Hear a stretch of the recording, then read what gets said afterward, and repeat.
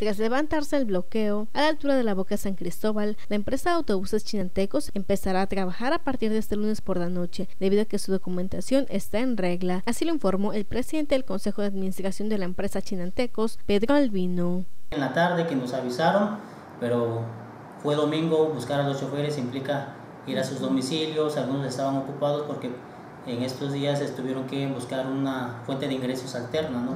Y eso nos llevó a que hasta el día de hoy no podamos este, empezar a circular. A partir de hoy, en el transcurso de la tarde, va a empezar a salir la, la corrida para la ciudad de Oaxaca, que es el tramo que tenemos autorizado.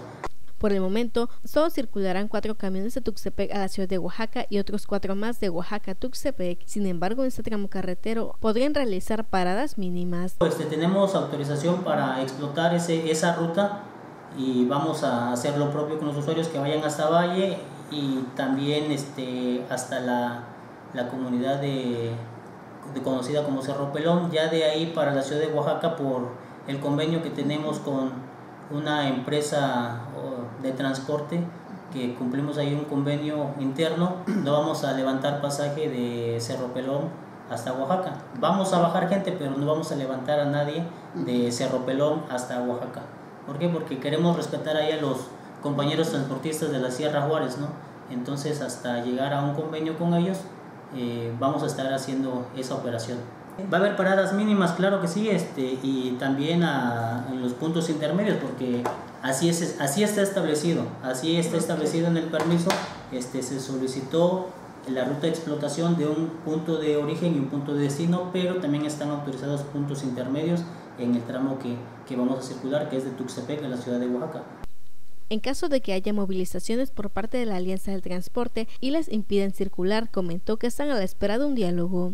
Si no podemos cumplirlo, pues entonces tenemos, que ver las vías alternas para poder eh, hacer que se cumpla ese permiso. También sabemos que si ellos eh, obstaculizan nuestra, nuestro tránsito, incumplen también e incurren en, en, faltas administrativas en las cuales se le puede revocar su permiso.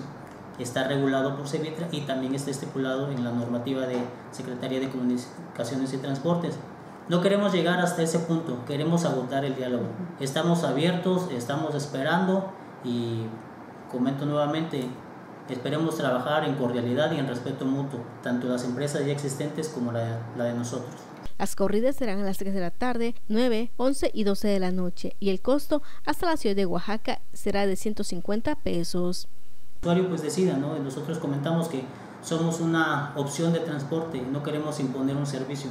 Que el usuario decida a final de cuentas si quiere ocupar los servicios ya existentes o los que estamos ofreciendo, pues él tiene que decidir. Es la apertura que estamos dándole al usuario, que él decida en qué viajar informó Dora Timoteo.